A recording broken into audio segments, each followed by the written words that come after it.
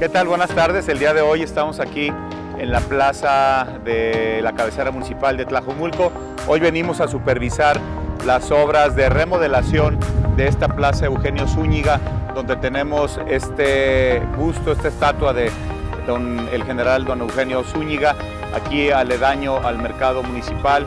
Y lo que está muy padre es como ya le estamos dando armonía a toda la plaza en este programa también de reubicación de comerciantes y que nos va a permitir eh, hacer una plaza ya completa en el 100% incluyente, que sea una zona peatonal donde la gente pueda disfrutar de la identidad que tiene esta plaza por su antigüedad, por su historia, por su cultura.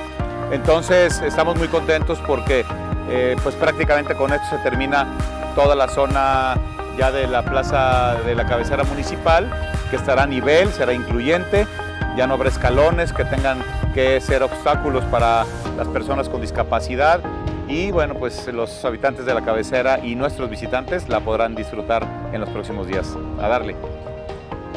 Zamora Zamora, cuarto informe.